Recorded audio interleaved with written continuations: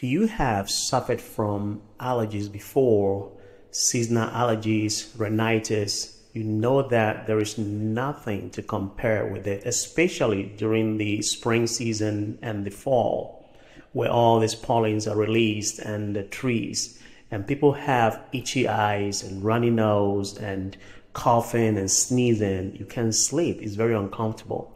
And most people will resort to taking over the counter medications or even sometimes steroids.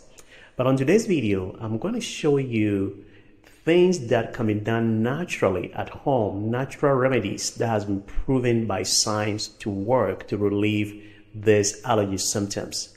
Because allergies are caused by the release of histamines that causes all the symptoms.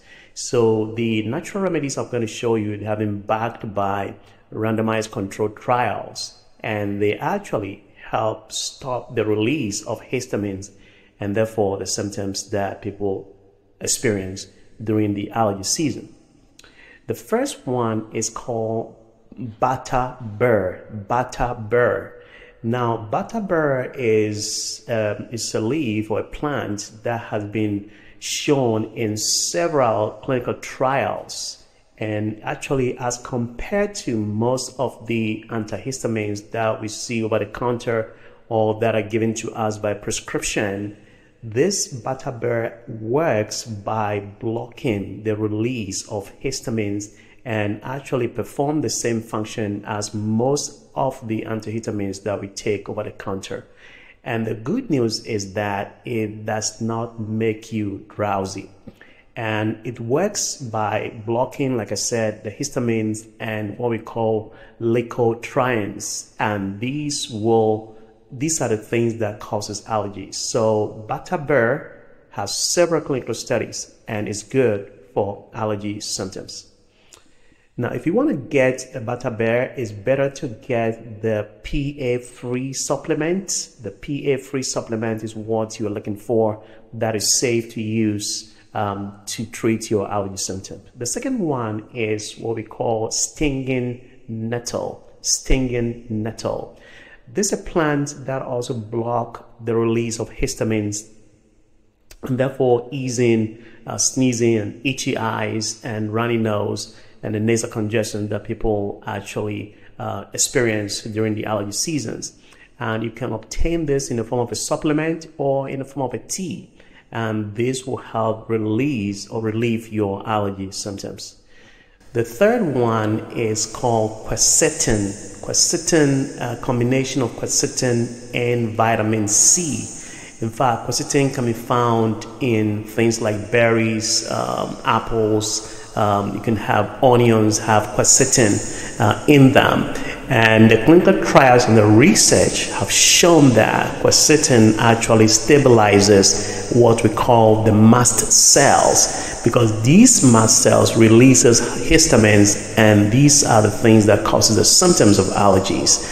And also vitamin C has a mild antihistamine effect. So combining uh, quercetin, you can get them in the form of a supplement, the natural ones, and combine with vitamin C, you have the combined effect of these two, and that will stop and minimize your allergy symptoms.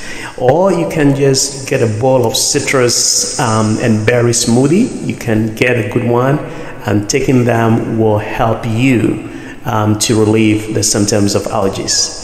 The, the last but not the least is probiotics. Yes, probiotics. In fact, your gut health has been linked with allergy symptoms.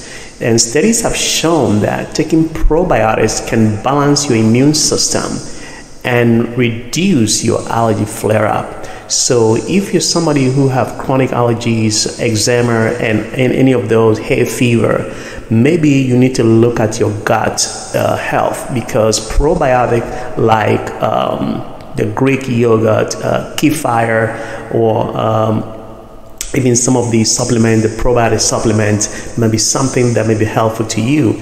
Now, is there a particular strain of probiotics you can use? Well, there are several studies have been done, and they use strains like Lactobacillus uh, Lactobacillus paracasei or Lactobacillus rhamnosus or uh, Bifidobacterium strains, and these are the ones that have been used. And actually, the studies were done in pregnant women during prenatal and postnatal, and also people with hay fever, and symptoms were actually reduced significantly. So, this is something that you might want to look at and take on a regular basis probiotic if you have allergies because treating your gut symptoms or your gut flora or your gut health may help reduce some of these allergy symptoms.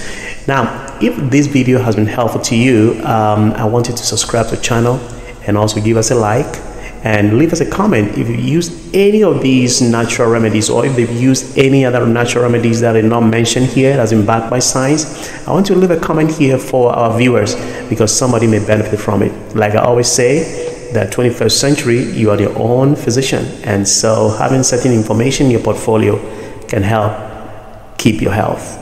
So until then, Dr. Moses, I'll see you on the next video.